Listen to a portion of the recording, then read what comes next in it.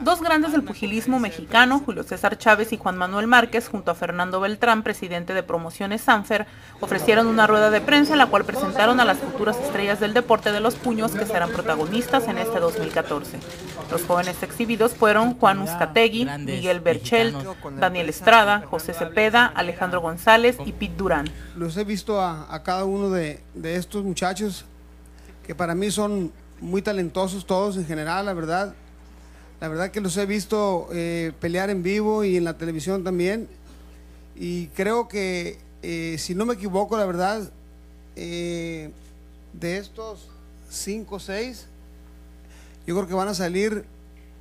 como unos ocho campeones. no, yo creo que la verdad, si se siguen preparando a conciencia, si siguen trabajando duro en el gimnasio, creo que la verdad hay mucho talento aquí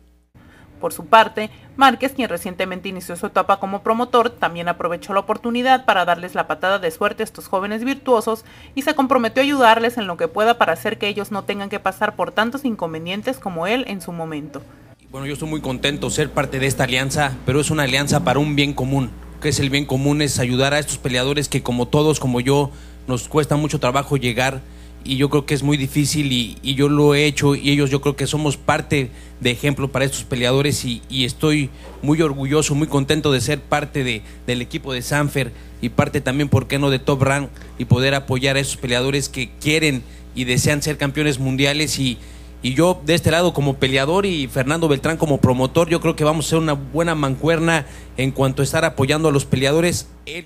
para Frontera.info con información de Daniel Iglesias e imágenes de Jorge Valencia.